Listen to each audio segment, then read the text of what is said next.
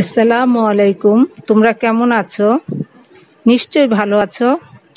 এরই মধ্যে হয়তো তোমরা তোমাদের গত সপ্তাহের পড়া শিখে নিয়েছ। আমি খালেদা সুলতানা মিস, আবার তোমাদের সামনে উপস্থিত হয়েছি। তাল গাছ, রবীন্দ্রনাথ ঠাকুর। তাল গাছ এক পায়ে দাঁড়িয়ে, সব গাছ ছাড়িয়ে, উকি মারে আকাশে। মনে সাত কালো মেঘ ফুরে যায়, একেবারে উড়ে যায় কোথা পাবে পাখা সে? তাই তো সে ঠিক তার মাথাতে, গোল গোল পাতাতে ইচ্ছেটি মেলে তার। মনে মনে ভাবে, বুঝি ডানা এই, উড়ে যেতে মানা নেই, বাসাখানি ফেলে তার। সারা দিন ঝড়, থর থর, কাঁপে পাতা পত্তর, উড়ে যেন ভাবে ও। মনে মনে আকাশেতে বেরিয়ে, তারাদের এড়িয়ে যেন কোথা যাবে ও তারপরে হাওয়া যেই নেমে যায়, পাতা কাপা থেমে যায়, ফেরে তার মনটি। যেইভাবে মাঝে হয় মাটি তার, ভালো লাগে আরবার পৃথিবীর কোনটি। এবার কবিতায় কবি কি বলেছেন তা জেনে নেই। তাল গাছ সব গাছকে ছাড়িয়ে উঁচুতে মাথা তুলে এক পায়ে দাঁড়িয়ে আছে। তাল গাছের ইচ্ছে করে কালো মেঘ ভেদ করে বাতাসে পাখা মেলে আকাশে ঘুরে বেড়াতে। তাল গাছ যখন বাতাস বইতে থাকে, গাছের পাতা থরথর করে কাঁপতে থাকে, তখন সে তার মাথার উপরের পাতাগুলোকে ডানা ভাবে মনে মনে বাসা ফেলে পুরো আকাশকে, আকাশে বেরিয়ে থাকে। তারপর যখন বাতাস থেমে যায়, তখন তার পাতা কাপা থেমে যায়, সেই সাথে তাল গাছের বেড়ানোও থেমে যায়। তাল গাছ পৃথিবীকে আবার ভালোবেসে মায়ের কোলে ফিরে আসে। এবার এসব প্রশ্নে চলে যায় এক নং প্রশ্নে আছে শব্দার্থ। এখানে দুটো শব্দ আছে, সাত এবং থরথর। সাত শব্দের অর্থ হলো ইচ্ছে এবং থরথর শব্দের অর্থ হলো থর থর। দুই নং প্রশ্নে ঘরের ভিতরের শব্দগুলো খালি জায়গায় বসিয়ে বাক্য তৈরি করি। এখানে দুটি শব্দ থরথর এবং স্বাদ এই দুটো শব্দ দিয়ে নিচের দুটি সেন্টেন্স কমপ্লিট করতে হবে। দীপুর পাখির মতো উড়ার স্বাদ হয়েছে। শিলা শীতে থরথর করে কাঁপছে। তিন নঙে আছে, কথাগুলো বুঝে নেই। পত্তর বলতে কি বোঝানো হয়েছে? পত্তর হলো পাতা। ফেরে, ফিরে আসে। ফেরে তার মনটি, তার ইচ্ছা বদলে যায়। আরবার আরেকবার। চার নং প্রশ্নে আছে, ডান দিক থেকে ঠিক শব্দটি বেছে নিয়ে খালি জায়গায় বসায় এখানে ডান দিকে কিছু শব্দ রয়েছে, আরবার পাতা কাপা ছাড়িয়ে, পৃথিবী, এই শব্দগুলো দিয়ে আমাদের বাম দিকে যে সব বাক্যগুলো রয়েছে তা কমপ্লিট করতে হবে। তাল গাছ এক পায়ে দাঁড়িয়ে, সব গাছ ছাড়িয়ে। তারপরে হাওয়া যেই নেমে যায়, পাতা কাপা থেমে যায়। যেইভাবে মাঝে হয় মাটি তার, ভালো লাগে আরবার পৃথিবীর কোনটি? পাঁচ নঙে আছে, ঠিক উত্তরটি বাছাই করে বলি। ক তাল গাছ মনে মনে কাকে মা বলে ভাবে? মেঘকে, আকাশকে, মাটিকে, পৃথিবীকে? এখানে তিন নং মাটিকে। খ তাল গাছের মনে কি ইচ্ছে জাগে? সব গাছের চেয়ে উঁচু হবে? পাতায় ভর করে ভাসবে? আকাশ, আকাশে উকি মেরে দেখবে? কালো মেঘ ফুরে উড়ে যাবে। এখানে চার নাম্বার হবে, কালো মেঘ ফুরে উড়ে যাবে। তাল গাছের ইচ্ছে কখন বদলায়? মায়ের কথা মনে হলে? দিন শেষ হলে? হাওয়া নেমে গেলে? বেড়ানো শেষ হলে? এখানে তিন নং হাওয়া নেমে গেলে। ছয় নং প্রশ্নে কতগুলো প্রশ্ন রয়েছে, সেখানে প্রশ্নগুলোর উত্তর দিতে হবে। এখানে এক নং প্রশ্ন, ক নং প্রশ্নে রয়েছে, তাল গাছকে দেখে কি মনে হয়? এখানে তাল গাছ যেহেতু কোনো, তাল গাছের কোনো শাখা প্রশাখা নেই, তাল গাছকে তাই দেখে মনে হয় যেন এক পায়ে দাঁড়িয়ে সব গাছকে ছাড়িয়ে আকাশে উকি মারছে। খনং আছে, মনে সাত, কালো মেঘ ফুরে যায়। কথাটির অর্থ কী? তাল গাছের পাতা যখন বাতাসে লাগে, তখন সেগুলোকে সে পাতা পাখা মনে করে। সেই পাখায় ভর করে সে কালো মেঘ ভেদ করে সে উড়ে বেড়াতে, বেড়ে, উড়ে বেড়ানোর কথা ভাবে। তালগাছ কীভাবে তার ইচ্ছেকে ছড়িয়ে দেয়? তালগাছ কালো মেঘকে প্রচণ্ড বেগে উঠতে দেখে। তার তালগাছের পাতা পাতাও জোরে জোরে কাঁপতে থাকে। তালগাছ তার পাতাকে ডানা ভেবে তখন আকাশে উঠতে চায়। এভাবে তালগাছ তার ইচ্ছেকে ছড়িয়ে দেয়। গণাং তালগাছ পাখা চায় কেন? তালগাছ আকাশে বেড়াতে ইচ্ছে হয়, তাই সে পাখা চায়। বিসমিল্লাহ রহমান রাহিম। আসসালামু আলাইকুম। প্রিয় শিক্ষার্থী বন্ধুরা আশা করি সবাই ভালো আছো। আর এতদিন আমরা যে অনলাইনে ক্লাসগুলো করেছি, আশা করি সবাই সেই অধ্যায়গুলো তোমরা ভালো করে পড়েছ। আজকে আমরা নতুন আরেকটি কবিতা নিয়ে আলোচনা করব। কবিতার নাম আমাদের গ্রাম। প্রথমে আমরা কবিতাটি একবার পড়ে নিই। কবিতা আমাদের গ্রাম। লিখেছেন বন্দে মিয়া। আমাদের ছোট গায়ে ছোট ছোট ঘর, থাকি সেথা সবে মিলে নাহি কেহ পর। পাড়ার সকল ছেলে, মোরা ভাই ভাই, একসাথে খেলি আর পাঠশালে যাই। হিংসা ও মারামারি কভু নাই করি পিতা মাতা গুরুজনে সদা মোরা ডরি। আমাদের ছোট গ্রাম মায়ের সমান আলো দিয়ে, বায়ু দিয়ে বাঁচাইছে প্রাণ। মাঠ ভরা দান তার, জল ভরা দিঘি, চাঁদের কিরণ লেগে করে ঝিকিমিকি।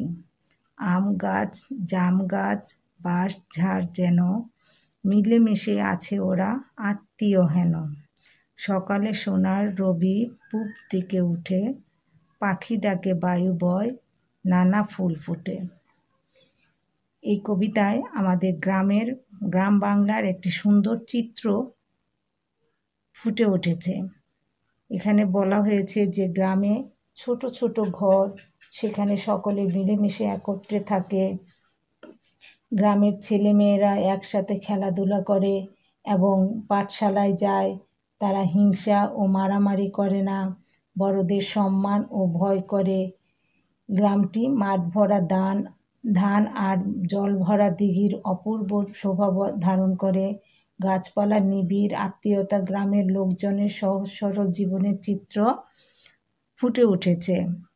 এখানে আমরা গ্রাম বাংলার একটা সুন্দর ছবিও পাশে আছে কবিতার সাথে, যে ছেলেমেয়েরা একসাথে খেলাধুলা করছে ভাস যার ছোট্ট গ্রামের ঘরগুলা ছোট, আকাশে পাখিরা উড়ে বেড়াচ্ছে।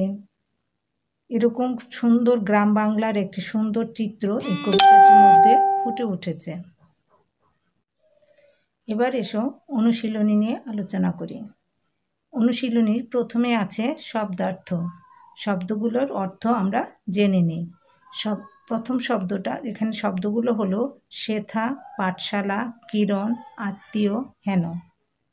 শেথা শব্দের অর্থ হলো সেখানে, পাঠশালা, বিদ্যালয় কিরণ, আলো, আত্মীয়, আপনজন হেন এরু বা এ রকম দুই নং প্রশ্নে আছে শূন্যস্থান পূরণ।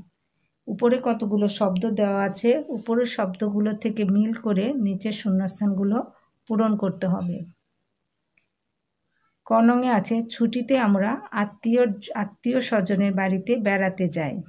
খ সেকালে শিশুদের পড়ার জন্য পাঠশালা ছিল। গ, থাকি সেথা সবে মিলে নাহি কেহ পর। এ হেন কাজ করতে নেই। চাঁদের কিরণে চারদিকে আলোকিত। তিন নাম্বার প্রশ্নে কত, তিন নঙে আছে কতগুলো শব্দ আছে? এই শব্দগুলো দিয়ে আমাদের বাক্য তৈরি করতে হবে। শব্দগুলো হলো জল ভরা, মাঠ ভরা, ঝিকিমিকি বাঁশ জার। জল ভরা দিয়ে আমরা বাক্য গঠন করতে পারি। আমাদের গ্রামে জল ভরা দিঘি রয়েছে। মাঠ ভরা মাঠ ভরা ফসল দেখে কৃষকের মুখে হাসি ফুটেছে।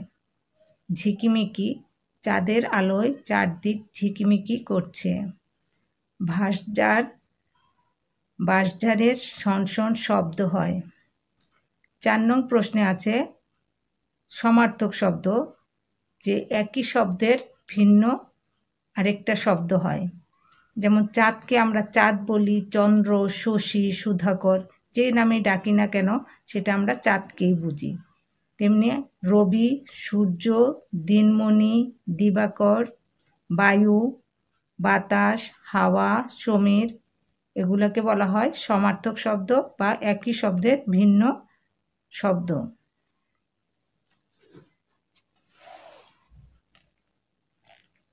পাঁচ নঙে আছে সঠিক উত্তর। পাড়ার সকল ছেলে একসঙ্গে কি করে? মাছ ধরে, বাজারে যায়, বেড়াতে যায়, খেলাধুলা করে। এখানে হবে চার নং খেলাধুলা করে। ক্ষতে আছে সকালে সোনার রবি কোন দিকে উঠে? পশ্চিম দিকে, উত্তর দিকে, পূব, দক্ষিণে। আমরা এখানে বলব উত্তর পূব দিকে। গ্রামকে মায়ের সমান বলা হয়েছে কেন? সবাই মিলেমিশে থাকে, সবাইকে মায়া মমতা দেয়, সব গাছ আত্মীয়ের মতো সবাই সব কিছু মিলে গ্রামটি সুন্দর। এখানে উত্তর হবে, দুই নং সবাইকে মায়া মমতা দেয়। ছয় নং প্রশ্নে কতগুলো সব প্রশ্ন রয়েছে, এই প্রশ্নগুলোর উত্তর আমার আমরা আজকে জেনে নেব। জানব এবং শিখব। প্রশ্নগুলো হলো, গ্রামের ঘরগুলো দেখতে কেমন? খ, গ্রামের লোকজন কীভাবে থাকে? গ, ছেলেমেয়েরা একসাথে কোথায় যায়? ঘ, গ্রামের গাছপালা দেখলে কি মনে হয়? ও সকালে গ্রামে কি কি ঘটে? এবার আমরা এই প্রশ্নগুলোর উত্তর জেনে নেব। প্রথমে প্রশ্নটা হলো, গ্রামের ঘরগুলো দেখতে কেমন? এর উত্তর হলো,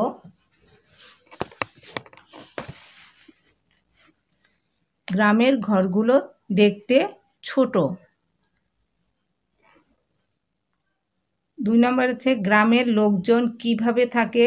গ্রামের লোকজন মিলেমিশে আত্মীয় স্বজনের মতো থাকে। গর্তে আছে, ছেলেমেয়েরা একসাথে কোথায় যায়? ছেলেমেয়েরা একসাথে খেলে আর পাঠশালায় যায়। গ্রামের গাছপালা দেখলে কি মনে হয়? গ্রামের গাছপালা দেখলে মনে হয় ওরা আত্মীয়র মতো মিলেমিশে আছে। সকালে গ্রামে কি কি ঘটে?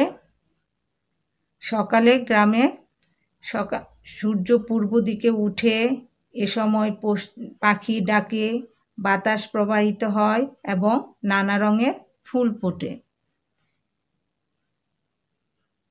এই প্রশ্নগুলোর উত্তর আমরা ভালো করে শিখব এবং এসডাব্লু করে যার যার গ্রুপে পাঠিয়ে দিব। আর সামনে আমাদের এমটি পরীক্ষা আছে, তার জন্য আমাদেরকে এমটি সিলেবাসটা ভালো করে শিখে নিব, যে কমপ্লিট করব বাসায়।